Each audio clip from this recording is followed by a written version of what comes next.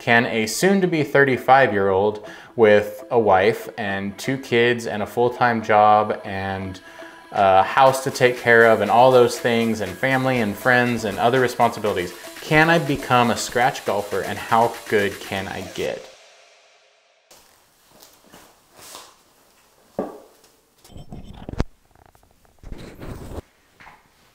Hey everybody. As you can probably tell from the last few weeks, there have been some changes on the channel, including the name. So I just wanted to take a little bit and kind of talk about why that is.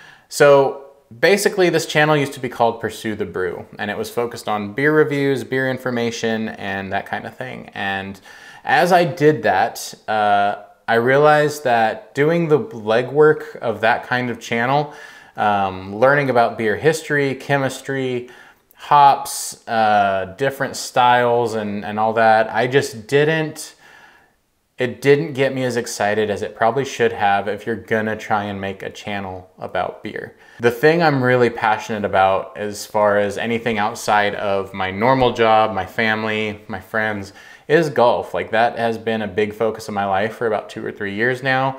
I've gotten pretty good if I say so myself. And so I just decided I'm going to push myself to not only work on some things, but to document them and hopefully do that in an entertaining way that also allows you to learn kind of as I learn. So this channel is now Adam Pulley Golf. That is gonna be the focus. And the whole idea is, can a soon to be 35 year old with a wife and two kids and a full-time job and a house to take care of and all those things and family and friends and other responsibilities, can I become a scratch golfer and how good can I get? So um, right now I'm a 5.5 handicap. And so I've, I've, I've gotten down to there from a 12 in 2022. So the goal in 2023 is get those last five strokes off and call myself a zero, a scratch golfer. And so today I just wanna kind of walk through what you're gonna be seeing on this channel and what I'm doing to reach that goal of becoming a scratch golfer at age 35. So there's kind of three areas that I'm focusing on in improving, especially in the next few months as it's gonna be cold and I'm gonna be kind of homebound. I'm not gonna be able to play out on the course that often. I'll still be able to practice and do some other things. So the three areas that I'm improving in to really focus myself and my body on becoming a scratch golfer are fitness, my swing, and my mental game. So let's dig in first on fitness. So my goal right now is in 2023 is to lose about 50 pounds. Um, I know that's a lot of weight in one year. It's probably not realistic, but there's a goal number in the back of my head, and that's what I want to hit. Right now, I am uh, pretty far overweight. I'm a big dude, uh, and I don't have very much muscle. My BMI is definitely in the obese category, so I'm trying to work my way into building muscle and losing weight. So the way I'm doing that is I'm using the Fit for Golf app. Right now, I'm doing the uh, off-season program, and I can just tell you like the way the app works, the way the programs are set up, it is awesome. If you are wanting to gain some muscle and get in better shape as a golfer or as anything, this is a great program. Um, and then for the diet part of it, to track my calories and macros and, and what I'm eating, I'm using the Noom system, which is also a great uh, diet program. It's not just focused on the numbers, it is focused on the psychology of why we eat and how we eat and helping you make better decisions that way. So between those two things over about the last month and a half, I have lost about 14 pounds. And more importantly, I have gained pretty significant muscle. The, uh, the next part is kind of on the technical golf things, which is the swing. Uh, there's a couple big goals here. One is to, the biggest thing is to develop consistency and have a swing that really uses the uses the raw ability I have, which is all I've really ever done. I've uh, you know mostly self-taught swing, a few lessons here and there throughout the years, but for the most part, this is my swing. I've made it work. Obviously, I've gotten down to a five handicap without steady, consistent lessons. And so right now I'm working with a coach regularly for the first time. Uh, had a swing analysis done with Ryan Mouque, who's uh, on Twitter, on YouTube. Uh, sent him my swing and got an analysis, and just a few quick little things he said in that were able to make a huge impact. And so now I've, I've done a lesson or two with him and you know, he's not trying to do the easy fixes. He's trying to help kind of build from the get-go with my setup and my takeaway is where we're at right now and just already seeing some big improvements. So thanks to Ryan. Uh, check him out as well. Link to Fit for Golf Noom, and uh, Ryan's accounts will all be uh, in the description. So uh, the other part of my swing I'm working on is uh, speed. I'm going to be doing the stack swing speed system. Like I said, my swing is not bad. My seven iron speed is above tour average, and my my driver speed is well above the average person. But I want to take that uh, what I would call a strength and turn it into a superpower. So uh, along with as I'm gaining more muscle and, and building that part of my body, I want to also be translating that into the fastest speed possible. So uh, those are the things we're going to be doing with the swing. Uh, and then part of that also is practicing more. Last This last year, the improvements I made were pretty much on the course, um, a lot of putting, but I haven't practiced a whole lot.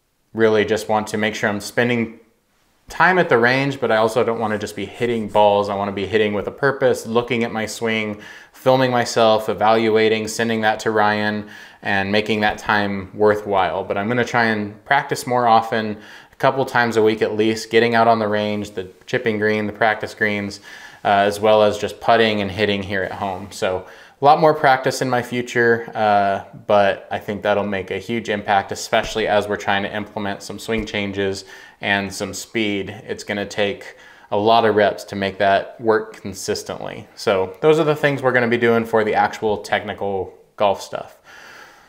Third big thing to work on is my mental game. Uh, this is probably, uh, if there was somebody filming me and evaluating my playing style, even just me knowing it, I am not a good, I don't have a lot of mental toughness on the golf course.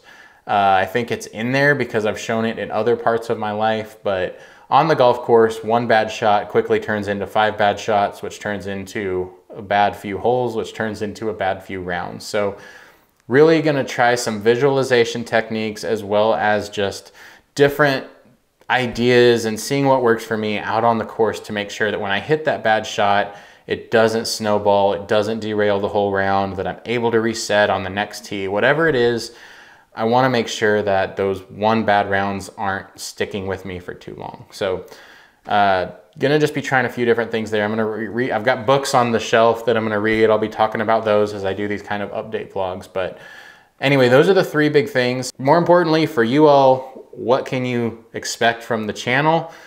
The big thing is going to be just kind of this, this talking through my game. I'm gonna film myself more out on the course and we're gonna do some seri a series called Breaking It Down where go through each shot, evaluate myself, evaluate what I was thinking and doing. Um, and trying to learn from that and do that here in the studio, not out on the course right after I hit the shot. So hit the shot, film it, but then move on to the next one and we'll break it down here and see uh, what kind of records we can set over nine holes, 18 holes, different things in those videos. We're also gonna be doing a lot of traveling. One way I can challenge myself without, you know, hopefully I meet a lot of good people and play with some really good golfers. But another way to challenge myself is to play on courses that I've never played on that are harder than what I would get at my home course where I know every nook and cranny. Go play some other courses, and that is where I think this will be really fun to be filming and learning more about golf architecture, which I've been doing and that sort of stuff. There's a lot of great courses here in Missouri. And so traveling to those, and that's where, you know, we'll still hit some breweries, some coffee houses, some restaurants, and, and just take you along the journey. So kind of the travel golf side of it as well here in Missouri and the Midwest. So those are the things you can expect. That's where we're going. Uh, it's exciting. It's scary to document this, um, but I'm hopeful that it will be fun uh, for me and for you all as well. So be sure to subscribe if, that, if you're at all interested in that. Uh, appreciate all the support and yeah, be sure to like this video if you're as excited as I am. I appreciate everything. Appreciate the, the people that have watched and, and gone along on the brew, brew, pursue the brew part. Now it's time for the Adam Pulley golf part. So I'll see you soon. Thank you all. And uh, until next time.